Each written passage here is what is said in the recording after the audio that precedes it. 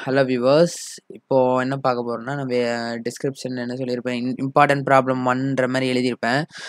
ஆக்சுவலாக வந்து இது டெக்ஸ்ட் புக் ஆர்டரான்னு எனக்கு தெரியல. எனக்கு வந்து க காலேஜில் இந்த ஆர்டரில் எனக்கு நடத்திட்டு வராங்க. ஸோ நானும் அந்த ஆர்டர்லேயே நான் வீடியோ போடலான்னு இருக்கேன். ஸோ அதுதான் ஃபஸ்ட்டு ஒன் தான். அதில் ஃபஸ்ட்டு ஒன் தான் இது.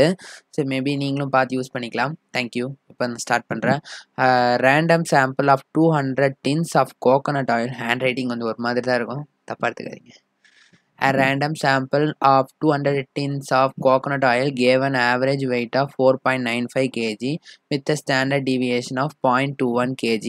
Do we accept that the net weight is 5 kg tin at 5% level? ஓகேவா five percent லெவல்னா level of significance alpha previous வீடியோவில் கண்டிப்பாக டிஸ்கஸ் பண்ணியிருப்போம் ஓகேவா ரைட் இங்கே கொஷினில் என்ன கொடுத்துருக்காங்கன்னா ஒரு two hundred tins coconut oil இருக்குது அதை அதோட ஆவரேஜ் வெயிட் வந்து four point nine KG nine five கேஜின்னு சொல்ல வராங்க.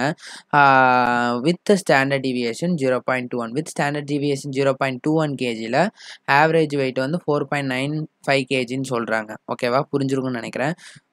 மறுபடியும் ரிப்பீட் பண்ணுறேன் a random sample of 200 tins with the standard deviation of 0.21 kg. The average weight is found to be as 4.95 kg.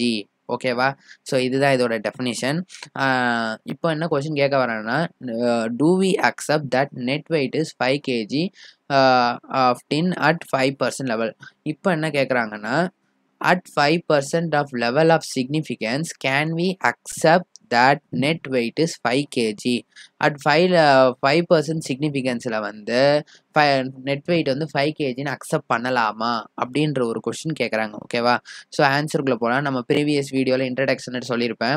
என்ன சொல்லியிருப்பேன்னா ஹெச் நாட் ஹெச் ஒன் பற்றி detail சொல்லியிருப்பேன். H நாட்னா there is no significant difference அப்போனா mean of mean of population இது மியூனா mean of population எக்ஸ்பார்னா mean of sample ஓகேவா ரெண்டுமே ஈக்குவலாக இருந்தால் H naught there is no significant difference between mean of sample and mean of population ரெண்டுத்துக்கும் எந்த டிஃப்ரென்ஸும் கிடையாது. ஹெச் ஒன்னா there is a significant difference between the mean of sample and mean of population right அதை போட்டுருவாங்க not equal simple இங்கே வந்து two possibility இருக்குது மேபி கிரேட்டராகவும் இருக்கலாம். மேபி லெஸ்ஸர் தேனாகவும் இருக்கலாம். ஓகேவா right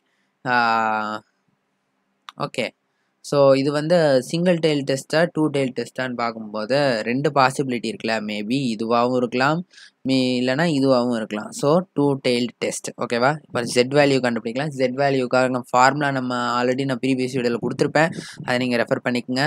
So Z equal to X bar minus mu by S by root ten ஓகேவா which is equal to four point nine five minus five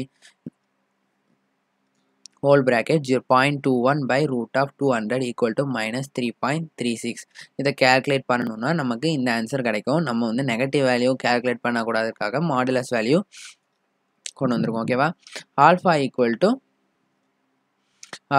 alpha equal to five percent and Z alpha equal to one point nine six இது எப்படி சொல்கிறதுன்னு நான் உங்களுக்கு சொல்கிறேன் இது எப்படி சொன்னோன்னா ஒன் செகண்ட்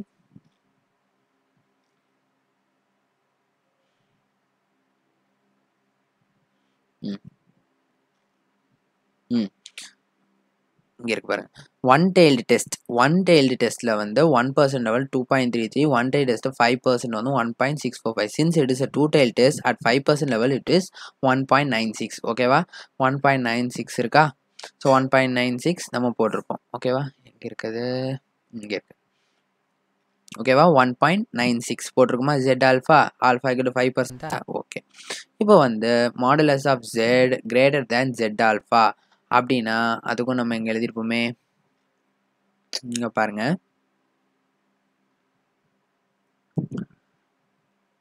ஆ இங்கே பாருங்க. Modulus of Z greater than Z ஆல்ஃபானா we accept H one and reject H two ஓகேவா? ஸோ ம். ஸோ இப்போ பார்த்தீங்கன்னா ஹெச் ஒன் வந்து accepted and H naught is rejected இதுலேருந்து என்ன தெரியுதுன்னா there H one is அக்செப்டட்னால there is a difference there is a significant difference அப்படின்னா இதுவும் இதுவும் வேற வேற.